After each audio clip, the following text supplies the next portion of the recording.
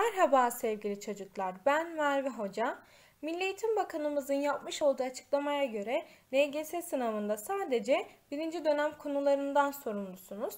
Biz de final ailesi olarak tekrarlarımızı soru çözümleri üzerinden yürüteceğiz. Sizin yanınızda olmaya devam edeceğiz. Başlayalım sorularımıza. Birinci sorumuzla başlıyoruz. 23 Nisan Ulusal Egemenlik ve Çocuk Bayramı kutlamaları için ülkemize gelen öğrenciler yaşadıkları yerlerin özellikleri için aşağıdaki bilgileri veriyorlar. Birinci öğrenci, benim yaşadığım yerde şu an ağaçlar yapraklarını dökmeye başladı demiş. İkinci öğrenci, benim yaşadığım yerde hava neredeyse her mevsim sıcak, bazı zamanlar ne bile birlikte dayanılmaz bir hal almaktadır. Üçüncü öğrencimiz ise benim yaşadığım yerde karlar hala tamamen erimedi. Karlar eridikten sonra havalar ısınmaya başlar. Öğrencilerin verdiği bilgilere göre dünya üzerinde çeşitli yerler işaretlenmiş. Öğrencilerin verdiği bilgilere göre yaşadıkları bölgeler için aşağıdakilerden hangileri doğrudur? Öğrencilerin söylediklerini burada K, M, L e, noktaları verilmiş. Bunlarla eşleştirmemiz gerekiyor.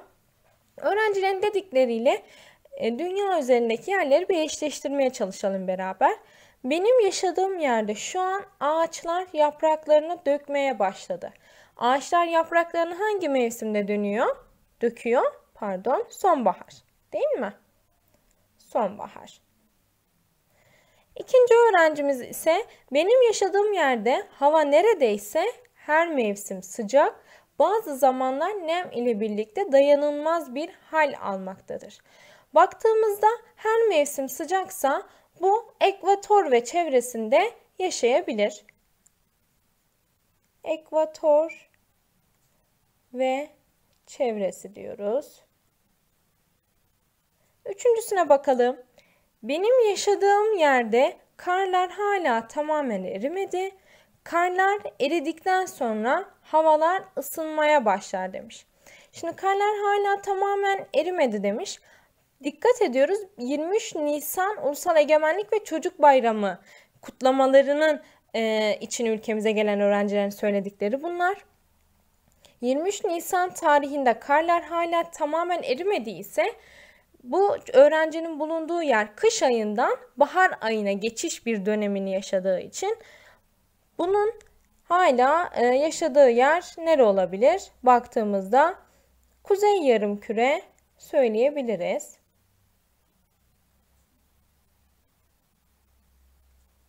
Bakalım yerlerini denkleştirmeye çalışalım. Birinci öğrencimiz sonbahar dedik ama 23 Nisan'da sonbahar mevsimini yaşayan e, küre hangi küre? Önce onları bulmamız lazım. Şimdi Nisan bizim ülkemizde yani kuzey yarımkürede bahar. Güney yarımkürede tam tersi ne olacak? Sonbahar. O zaman birinci öğrencinin bulunduğu yer güney yarımkürede yani ekvatorun aşağı e, tarafında olan bir noktada yer alacak. Baktığımız zaman K bölgesiyle ben birinci öğrenciyi ne yapabilirim? Eşleştirebilirim. O zaman C ve D şıklarımız elenmiş olacak. Devam edelim. Benim yaşadığım yerde hava neredeyse her mevsim sıcak demiştik. Ekvator ve çevresi. Baktığımız zaman B, M noktası ekvator ve çevresinde yer aldığı için bunu ikinci öğrenciyle eşleştirebilirim. Baktığımda zaten B şıkkı da gitti. Üçüncü öğrenciye bakalım. Benim yaşadığım yerde karlar hala tamamen erimedi diyor. Ve Nisan ayından bahsediyoruz. Bu kuzey yarım kürede yer alan L noktası olacaktı. Üçüncü öğrenci de L noktası ile eşleşecek. Cevabımız A şıkkı olacaktı.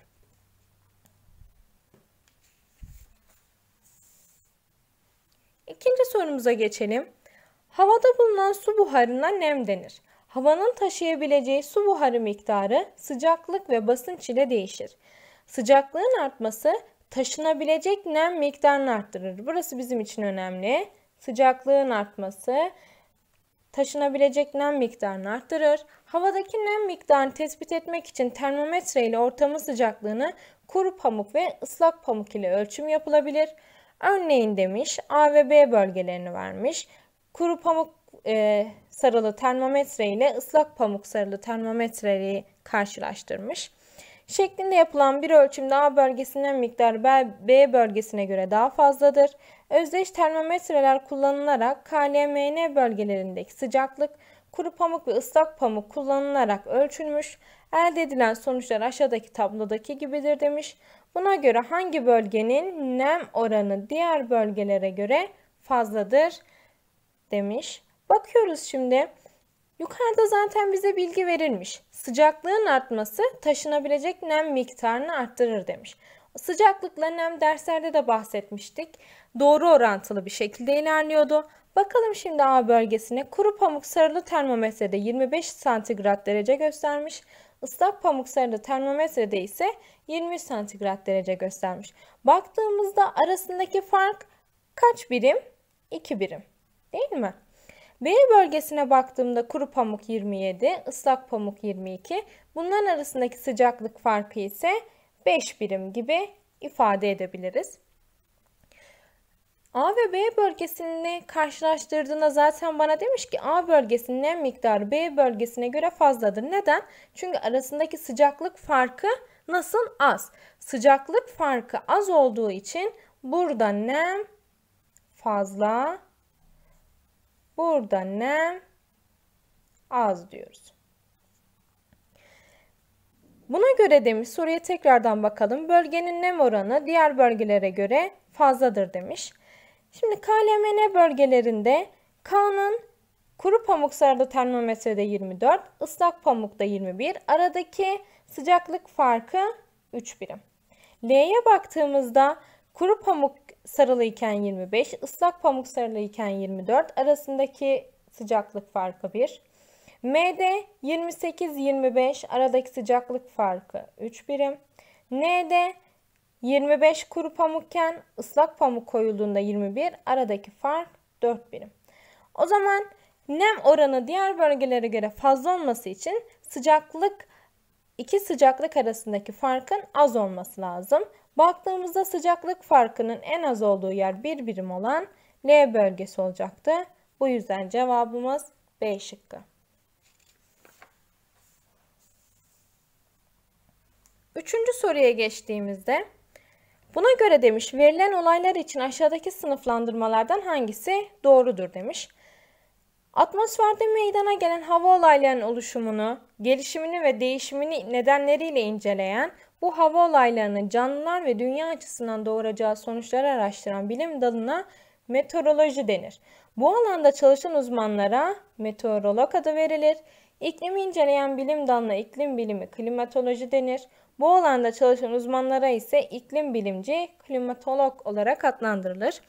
Aşağıdaki bazı olaylar numaralandırılmıştır. Sınıflandıracağız hava olayı ve iklim olarak bunları dersimize çokça örneklerini yapmıştık.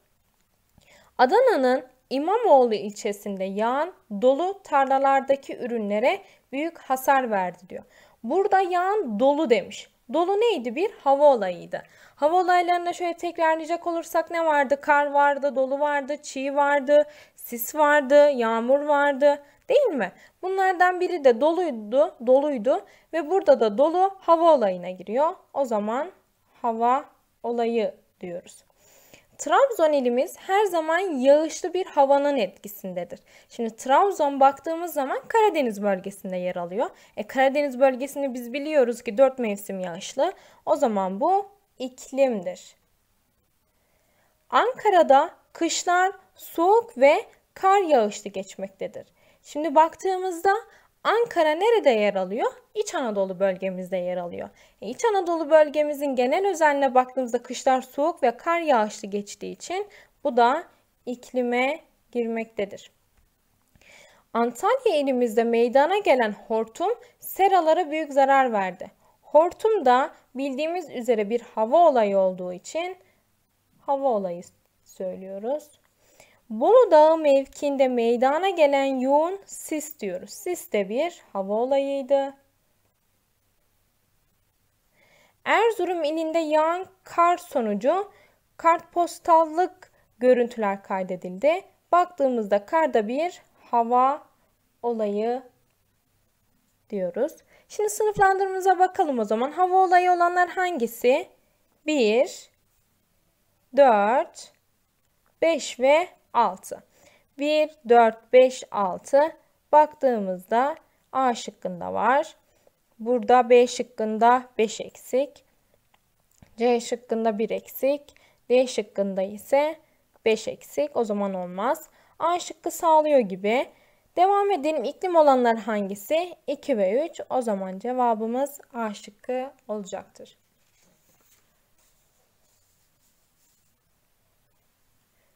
Dördüncü sorumuza devam edelim. Bize ne demiş? Eksen eğikliği durumu ile ilgili demiş. Eksen eğikliği daha fazla olsaydı verilen durumlardan hangisi doğru tanımlanmıştır gibi ifade kullanmış. Bakalım bizde soru kökünde neler söylüyor? Dünya güneş etrafında dolanırken aynı zamanda kendi etrafında da dönme hareketi yapar. Dünya kendine ait bir yörüngede dolanırken dönme ekseni dik değil eğiktir. Aşağıda verilen şekil dünyanın eksen eğikliğini göstermektedir ve bu eğiklik 23 derece 27 dakikalık olarak ölçülmüştür. Baktığımızda dünyanın dönme yönünden bahsetmiş ve burada gördüğünüz üzere 23 derece 27 dakikalık bir eksen eğikliğinden bahsetmiş. Dünya ekseninin 23 derece 27 dakikalık eğik olması beraberinde aşağıdaki sonuçları getirir. Bu sonuçlar neler? Derslerde de bahsetmiştik. Mevsimler oluşurdu. Evet mevsimlerin oluşması için iki temel özellik vardı. Birincisi dünyanın güneş etrafında dolanması. İkincisi ise eksen eğikliği demiştik. Mevsimler oluşur. Gece ve gündüz süreleri kısalıp uzar. O zaman gece ve gündüz sürelerini de etkiliyor. Yıllık sıcaklık farkları oluşur. Evet eksen eğikliğinden dolayı bazı bölgeleri dik ve dike yakın açılarla geliyor. Bazı yerleri eğik geliyor. Bu yüzden yıllık sıcaklık farkları da oluşuyor. Bir noktaya düşen güneş ışınları yıl içerisinde değişir. Bunun sonucunda da sıcaklık değişir diyoruz. Eğer eksen eğikliği daha fazla olsaydı. Burası bizim için önemli. Yani 23 derece 27 dakikalık değil de 30 derece, 40 derece, 50 derece yani 23 dereceden daha fazla olsaydı diyor. Verilen durumlardan hangisi doğru tanımlanmıştır? Mevsimler oluşmazdı diyor. Mevsimler oluşmazdı gibi bir ifade kullanamayız. Çünkü eksen eğikliği daha fazla olsaydı diyor. Eksen eğikliği olmasaydı deseydi mevsimler oluşmazdı.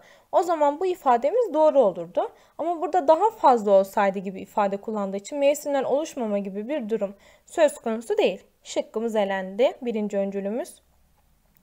Gece ve gündüz süre farkı artardı demiş.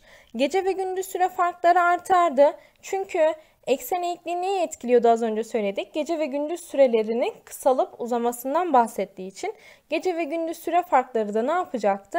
Artmış olacaktı. Bu öncülümüzü alırız. Yıllık sıcaklık farkları artardı. Evet çünkü eksen eğikliğinin derecesini biz arttırıyoruz. Yukarıda da söylemiştik yıllık sıcaklık farkları oluştuğu için eğer eksen eğikliği artınca güneş ışınları daha büyük açılarla gelecek. E daha büyük açılarla geldiği için de yıllık sıcaklık farkları da ne yapacak? Artmış olacak. Bir noktaya düşen güneş ışınları yıl içinde değişmezdi demiş. Hayır, değişirdi. Bu ifademiz de yanlış. Cevap Bursa 2 ve 3 olacaktı.